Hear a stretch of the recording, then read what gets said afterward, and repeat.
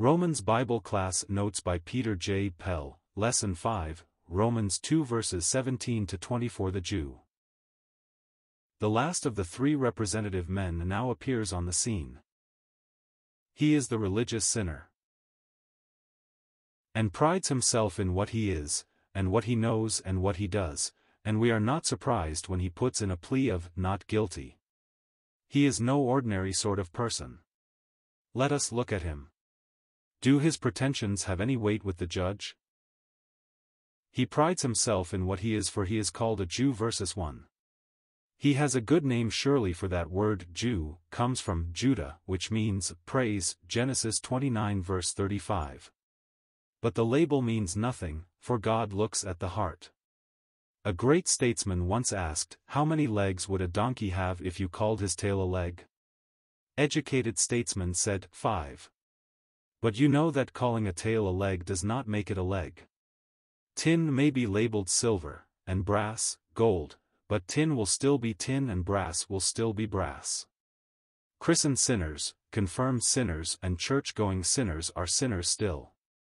No religious cloak can hide sin from the eyes of God, and every such cloak is as useless as the fig leaf aprons of our first parents in Genesis 3 verses.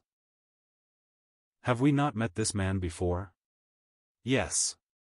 We have seen him praying in the temple, Luke 18 verses 9 to 14, thanking God that he is not like other men.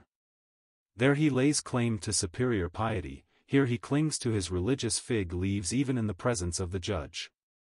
We listen to his pleas as he enumerates his virtues, but all in vain as far as being exonerated or acquitted is concerned. He has five advantages that distinguish him from all others. 1. He trusts in the law of God.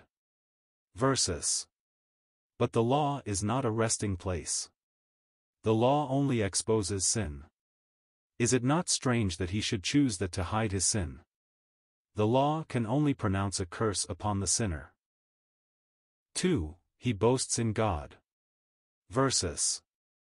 But he will find his boast a vain one. Was God the God of the Jews only? And would God associate himself with sin?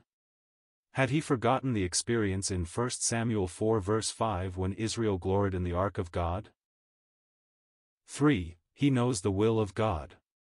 Versus but this only increases his responsibility, for true happiness is found not in knowing the will of God but in doing it. 4. He has superior discernment, versus. He professes to have the touchstone of divine revelation which he applies to questions of right and wrong. 5. He has superior training, versus. He is very orthodox. Has he not been schooled out of the holy law of God? Because of these advantages he advances. A five-fold claim. To superiority. He has graduated and has his degrees.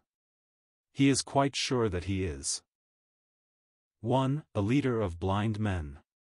Versus 2. A light to those who are in the dark, versus 3. An educator of the thoughtless versus 4. A teacher of beginners versus 5. A trustee of divine truth versus In the law of God there is a tenfold claim against man. This man presents a tenfold claim for exemption, building his claim on that very law. We will subject him to God's rigid cross-examination. The court will turn all this back upon himself.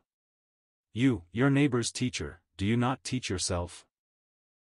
Five searching questions are put to this self-righteous Pharisee and they wither up all his self-conceit. Five emphatic thous are hurled at him.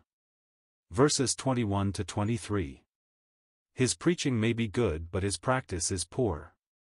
His life is such a contradiction to his teachings. The name of God is blasphemed or railed at, among the Gentiles, he is doubly guilty. He not only transgresses the law he so gloried in but he is charged with bringing reproach upon God's name. What a terrible indictment! How poor a hiding place the law is proven to be. Questions 1. Fill in references. 2. What man in the Gospels is like the religious sinner in our lesson? 3. What incident in the Old Testament proves that God will not associate himself with sin? 4. Write out verses 19 to 23 and underline a personal pronoun found more often than any other word in the verses. 5. What is the final charge brought against this religious sinner?